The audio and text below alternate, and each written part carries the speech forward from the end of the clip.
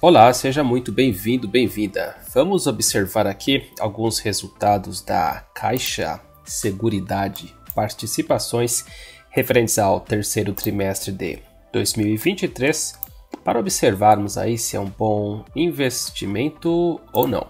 Vamos começar aqui pela base anual comparando 3T23 contra 3T22 depois faremos a base trimestral comparando o 3T23 contra o 2T23.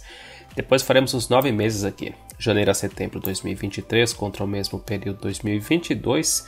Depois veremos aqui alguns outros números e custos aqui também, DRE resumida. Vamos começar então. As receitas operacionais avançaram 15% passando de 1 bi 046 para 1 bi 202 mil, um ganho de 156.700. Já o resultado operacional cresceu 16,7% e o lucro líquido avançou 19,6%, passando de 766.249 para 916.574. Margem operacional 1,22 pontos percentuais a mais, de 82,28% para 83,5%, e a margem líquida ganhou 2,96 pontos percentuais, passando de 73,24% para 76,20%.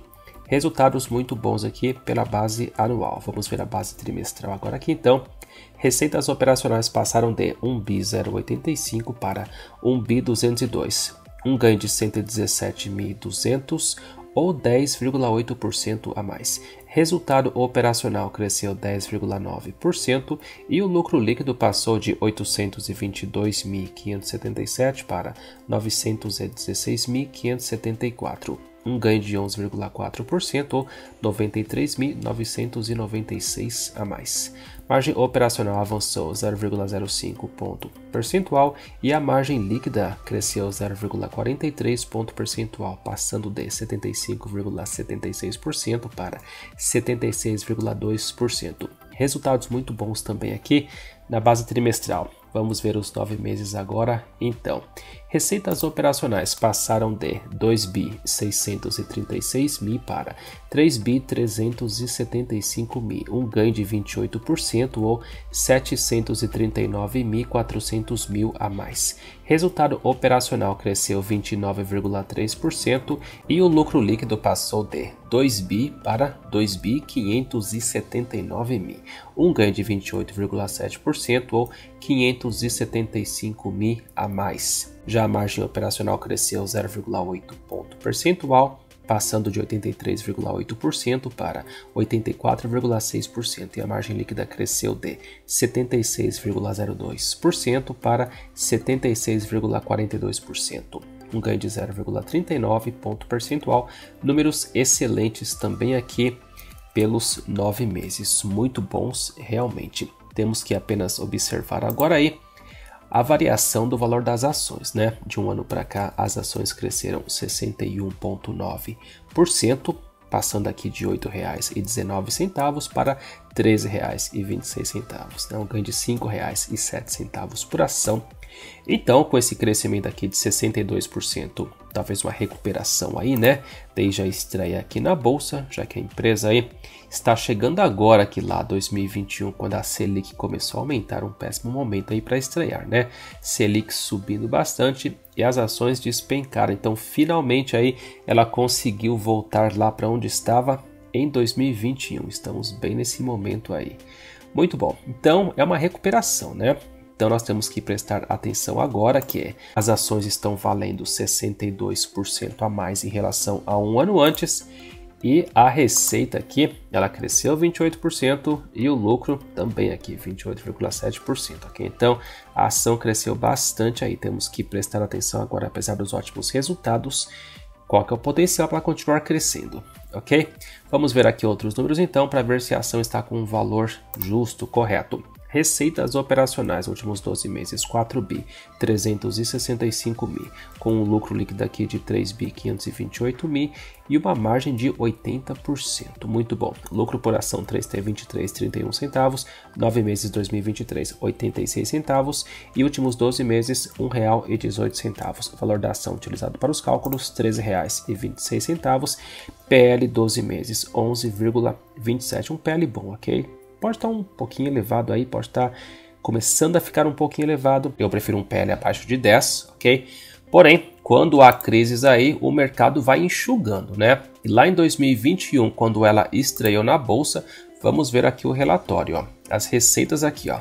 4T 21 estavam em 727 mil. Só observando agora aqui, né? A receita aqui 3T 23 está em 1 bi 202 mil, com um lucro de 916 mil, ok? E observando ali o lucro no 4T 21, vamos aqui para baixo, para não sair do foco aí, ó, resultado operacional, lucro líquido aqui 545, ok? 545 mil, com uma receita bem menor. Só observando aí onde nós estamos agora com o lucro quase que dobrando aqui no 3T 23, ok? Se nós observarmos também aqui 2020 com receitas operacionais de 2 bi, né? 2 bi 165 mil. E nós observamos aqui nos nove meses 23 3 bi 375, apenas 9 meses, aqui ainda falta um trimestre aqui. Então apenas para tentar aí entender, né, que lá em 2021, quando ela teve a estreia na bolsa e estava lá valendo o que está valendo hoje, e ela foi despencando, né? Porque ela possivelmente estava cara ali. Por isso que é importante nós prestarmos atenção no PL, ok? Para entender se a ação está com um preço justo ou não e agora está bom, porém aí está subindo, né? É importante observar aí os lucros da empresa nos próximos trimestres para manter um PL saudável, né? Que é o indicador de bolha que eu chamo aí. Se o PL estiver muito elevado, a ação pode estar cara aí em relação ao lucro que ela vem trazendo. Aqui a VEG é um ótimo exemplo. A VEG não vem crescendo aí de um ano para cá, porque a VEG cresceu muito a partir de 2019. E aí chega um momento que a receita, por mais que ela esteja crescendo, receita crescendo, lucro crescendo, pode estagnar. E se o PL estiver muito elevado, a ação para de crescer, ou cresce muito pouco, ou pior ainda, pode cair, né? Pode começar a corrigir. PVP 3,12, valor patrimonial por ação R$ 4,25, ou seja, estamos pagando aqui R$ 13,26 por uma ação que, de acordo com o valor patrimonial por ação, vale R$ 4,25. O múltiplo aqui é 3,12 ou 211% a mais. Então, com base aqui no VPA, a ação pode estar cara, ok? Com base no VPA aqui, PVP. PL aqui está bom novamente, porém agora é importante observar se ela tem espaço para continuar crescendo, ok? Os números estão excelentes, nada aqui contra os números, muito bom mesmo. A ideia agora é tentar entender se a ação está com valor justo e o potencial de crescimento. Capital social realizado não teve alteração, 2T23 para o 3T23, número de ações permaneceu o mesmo, valor de mercado 39 bi 780 mil, dividendos muito bons aqui, 7,6%, últimos 12 meses, resultado financeiro líquido foi positivo aqui no trimestre, lucro acumulado 2 bi 579 mil, com um ótimo retorno aqui sobre o patrimônio líquido, ok? 27,7%. Muito bom retorno mesmo, acima de 15%, é um retorno bom. Então aqui 27, excelente.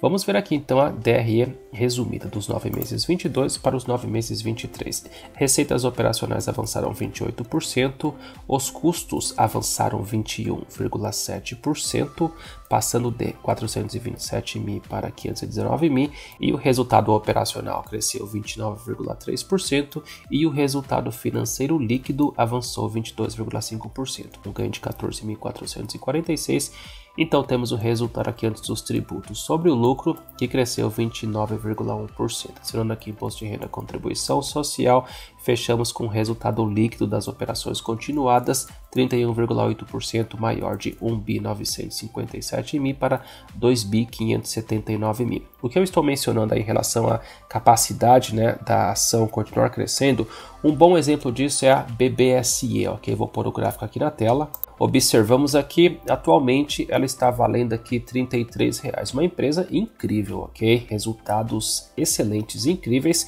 Porém, o mercado tem essa percepção às vezes, né? Você vê aqui batendo lá R$ 37,00 em 30 de 1 de 2023 e de um ano para cá ela basicamente não cresceu, né? Porque apesar dos números excelentes, o mercado pode aí observar a capacidade de crescimento em relação ao valor da ação, números muito bons e por estar aí também no segmento né, de seguridade aí, então é importante observar isso, né, apenas como comparação aí, porque às vezes os números são excelentes, porém o mercado está de olho no potencial de continuar aí a surpreender e trazer ótimos resultados, né.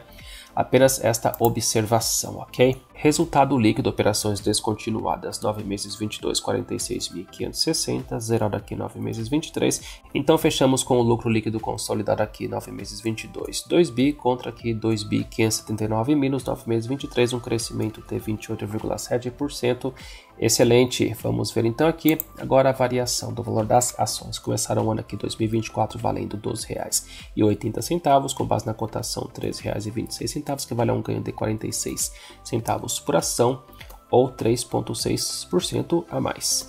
Já um ano antes elas valiam R$ 8,19, com base na cotação 13,26, um ganho de R$ 5,07 por ação ou 61,9% a mais. Já observamos ali no gráfico também, bem brevemente aqui. Vamos lá para o comecinho do ano aqui, ó, 2023, R$ 8,00 e conseguiu subir, realmente surpreendeu bastante, né? 2023, com base em ótimos resultados, a queda da Selic também já começou a antecipar aqui a partir do mês 4 a queda da Selic, que realmente aconteceu e vem favorecendo bastante a ação aqui, ok?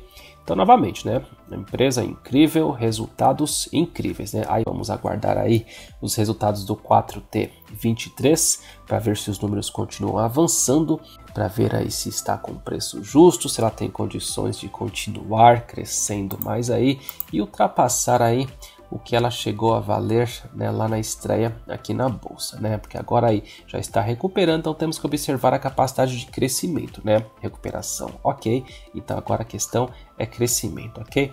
Bom, é isso que eu tenho para falar em relação à caixa. Se você gostar, por favor, curta o vídeo, deixe o like, inscreva-se no canal caso não esteja inscrito ou inscrita. Do mais, desejo muita boa sorte para você, sucesso e até a próxima.